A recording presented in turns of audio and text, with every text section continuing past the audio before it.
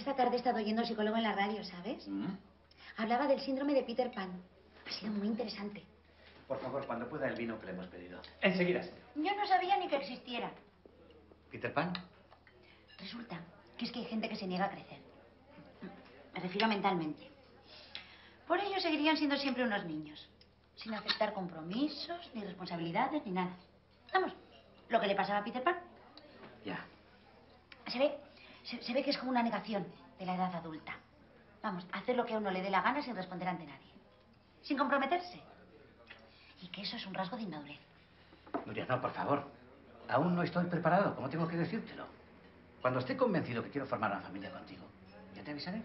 Es que pensaba en el piso ese que decías que era tan barato. A lo mejor podíamos intentar comprarlo. O, o por lo menos dar una entrada. Mira, con tu sueldo y lo que yo gano en el museo... Imposible, está vendido. No hay piso, de verdad. Además, tú y yo estamos bien como estamos. ¿Qué necesidad tenemos de acelerar las cosas, cariño? Luis me lo ha vuelto a pedir. ¿A pedirte qué? Que me vaya a vivir con él.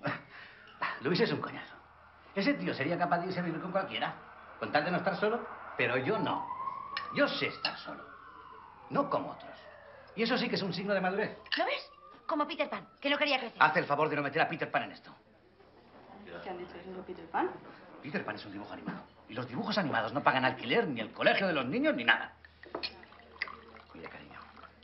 Las relaciones son como el vino. Primero lo pruebas. Un poquito solo. Y si te gusta, te quedas con la botella. ¿no? Está bien.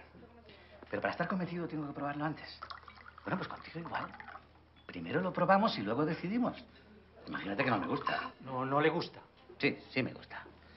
Vaya, ¿y te parece que no has probado bastante? Pues no, aún no he probado bastante. Si quiere, le sirvo un poquito más. No es necesario, gracias. Cuando esté convencido pediré la botella entera. Pero antes no, no quiero apresurarme.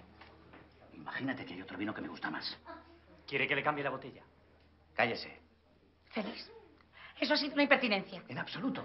Mejor cambiar la botella cuando solo has bebido una copa que no cuando le has bebido la mitad, ¿no? Tenemos un Riojita del 89 ¿Se quiere callar, por favor? ¿Y si es a mí a la que no le gusta la botella, eh? Perfecto. Me lo dices y en paz.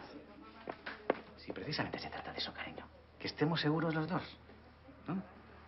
Además, nadie te va a acusar de síndrome de los siete nenitos.